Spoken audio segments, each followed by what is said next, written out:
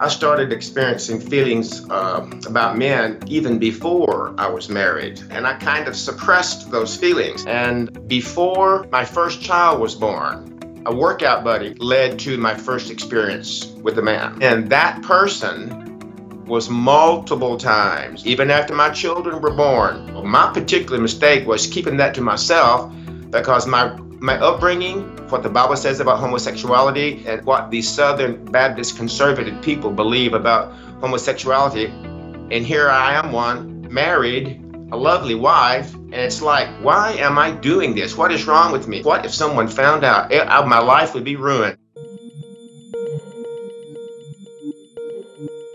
I was losing weight by leaps and bounds, depressed, crying all the time because I had just lost a family. Who wouldn't cry? I just lost a job. Who wouldn't cry? I just lost my respect, my self respect. I just lost the image of a Southern Baptist minister of music.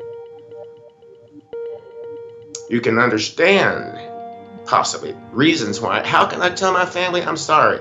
How can I tell that lovely wife that I'm sorry? And no matter what she thinks of me, I still love her. How can I tell my children that I still love them?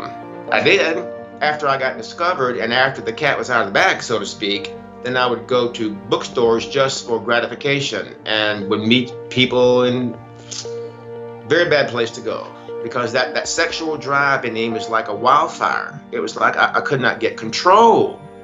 Suicidal thoughts did come along.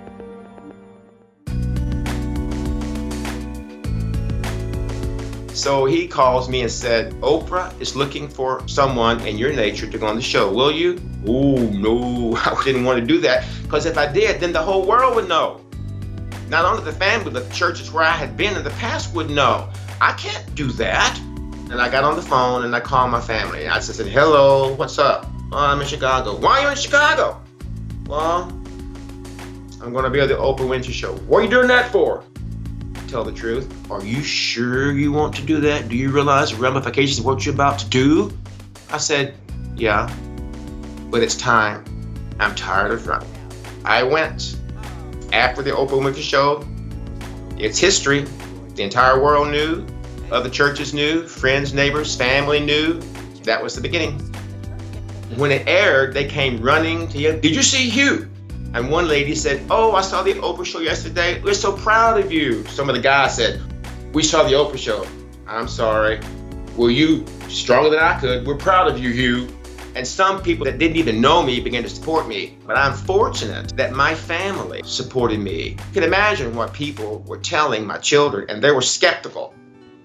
I didn't condemn anybody, I didn't condemn them. I just, over time, my life began to prove otherwise, that what they had heard was not necessarily the truth. And today, love them to death. My daughter named my grandson after me, so I guess that means she must be pretty proud of her dad. I'm happy today, absolutely.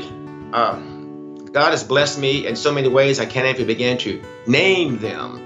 But I have my family, I have my children, and I have their love. I have my grandson it's a struggle for most of us daily in this world to survive and live and be happy. But uh, happiness, I think, is a choice, just like anger is a choice. There are a lot of negatives out there, be it people, be it church, be it your boss, be it whatever. But uh, what life you have left, live it in honesty, live it openly, whether anyone approves or not. It's your life. And when you get to the end of your life and look back and say, Well, I wished I had done this a lot, well, it's too late. Today is the best time to start. Hi, YouTubers. I'm excited to give you an update about our own YouTube channel.